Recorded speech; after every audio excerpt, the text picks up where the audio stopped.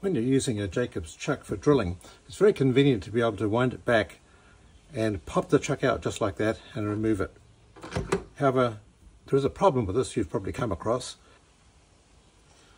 Now if you look at the calibrations as you wind the quill back in, you'll find that it pops out about two millimeters before the end of the scale. And that means you can't use those, those two millimeters for measuring a drilling hole because the chuck has already popped out at that point. And that's a bit of a nuisance and uh, some, sometimes it's as much as a centimetre out or a half an inch out. So what do you do about that? That's what we're talking about today very briefly. Here's another tool that I place in the tailstock.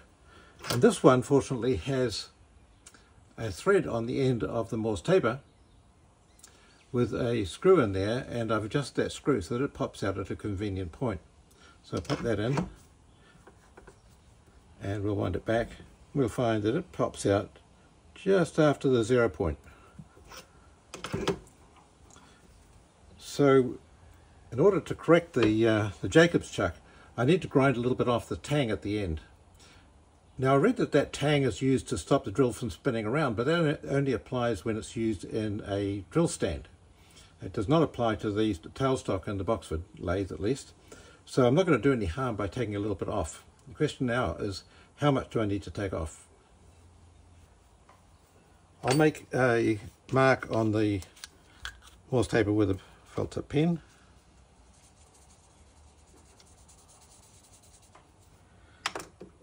Put it in the chuck and see how far it goes in. I'm going to scribe a line across that felt tip mark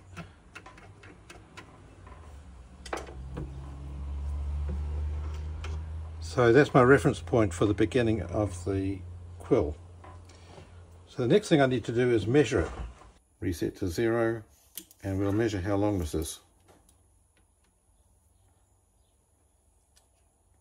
71.22 millimeters, near enough to 2.8 inches. Actually the inch measurements is probably appropriate since this is an imperial machine. So that's how long we need our Jacob's chuck to be in order to pop out right on a zero mark. So now I'll take the Jacob's chuck and do the same thing. Pop it in, make a felt tip mark, scribe it, and measure how long that is. And uh, so take it to the grinder and remove that extra length.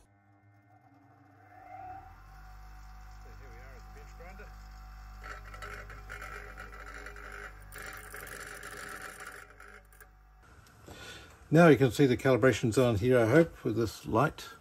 Adjust my light a little bit. So now when I wind back, it goes right up to zero without any problem, and just past the zero mark it pops out. So that's where I want it. Could perhaps have taken a little bit more off, but I did already take a little extra to make sure that it got past the zero before it popped out. Okay, so that's for the um, Jacobs chuck. I do have some other things that I put in the tailstock. This is my collection of tools that I use in the tailstock. And a swing arm so I can swing it out if I need to. And uh, these are just uh, Allen keys here. I've got a couple of dead centers and some people have been having trouble with dead centers not popping up. but this one these two that I have let's look pop it in and it pops out just as we get to the end of the travel of the of the quill so it's just the right length and this other one, this is another dead center I've got. Same thing, but just be well past the zero mark on the calibrations, it pops out. So they're okay, but some people have had to uh, clean and uh, glue a washer on the end of here to give it just enough extra push to push it out. Some people don't like that idea in case the washer comes off, but apparently people have done it, say, say it works fine. Now, of course, I have these two dead centers, and um, they're actually the right length, but if we have one that uh, is too short, you could perhaps uh, drill a hole in the end and put a screw in the end of it. And one of these, this one is quite soft when you file it. The other one is rock hard, you can hear the difference. So this one you probably can't machine, but this one you could e easily drill a hole in there and tap it and put a screw in the end so that it's rather like the uh, live center that we have.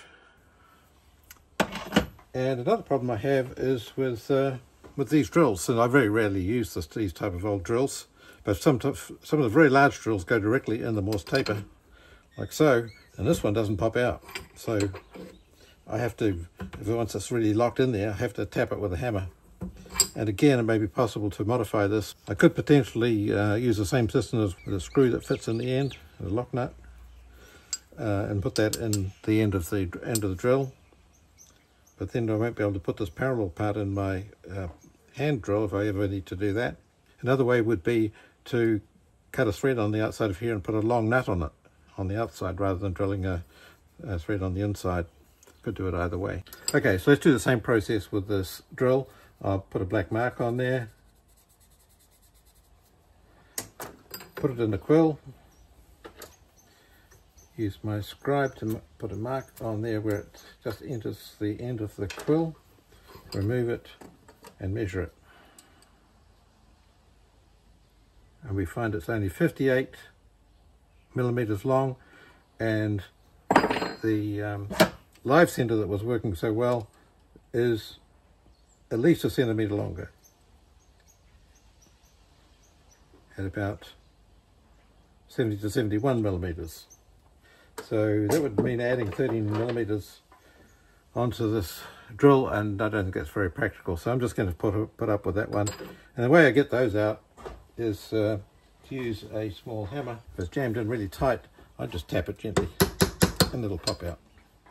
99% of the time anyway. Hi, well I just finished recording this when I realized that I missed something pretty obvious and that is that if it pops out on the two millimeter mark, the tang needs two millimeters taken off it. It didn't need to be measured. But in fact, the measurement might be useful for people who have devices that are too short and they want to know how much it might need to be extended to get it to pop out normally. So I decided to go ahead and produce a video.